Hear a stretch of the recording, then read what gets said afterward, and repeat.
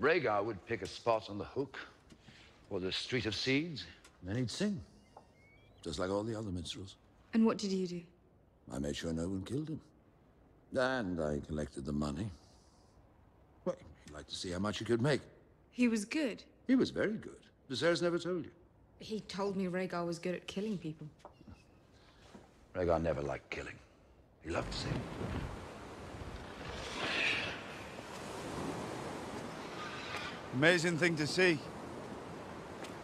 I named them for my brothers, Viserys and Rhaegar. They're both gone now. You lost two brothers as well. People thought dragons were gone forever, but here they are. Perhaps we should all be examining what we think we know.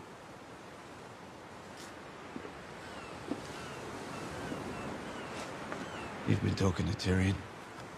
Here's my hand. He enjoys talking. We all enjoy what we're good at. I don't.